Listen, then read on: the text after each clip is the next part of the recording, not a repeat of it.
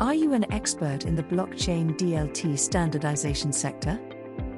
Obtain funding by participating in our third selection and engagement procedure, SEP.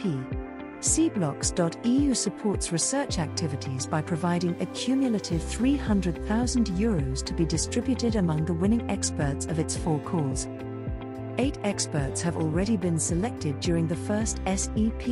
They will be contributing to the much needed blockchain DLT standardization and have received a total amount in funding of 72,370 euros. We are currently reviewing the application received under SEP2 and just opened the selection for SEP3. Don't miss this opportunity, be part of our experts and contribute to the efforts of the European Union. Infographics regarding the selected experts of the first SEP are available online and might be helpful for you to understand what a winning application needs. Among the eight funded applications, the most common topic was identity management, and the least tackled was process optimization.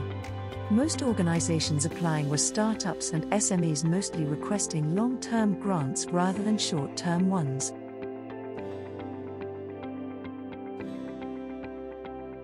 To learn how to submit your proposal and which are the guidelines to follow, check out the call on our website and the results from the past SEPs.